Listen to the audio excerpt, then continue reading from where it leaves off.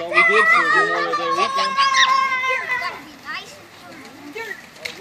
Alright, guys, get on your side.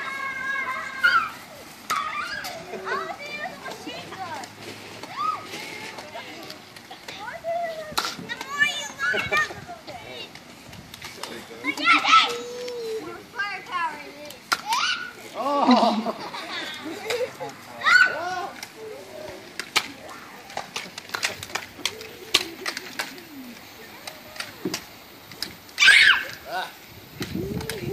the right one. I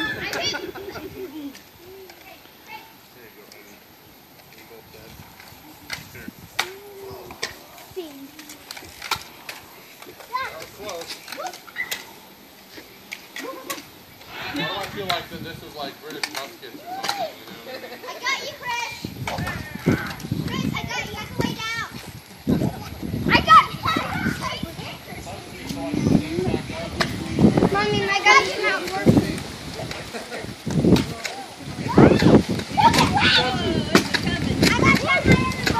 Oh!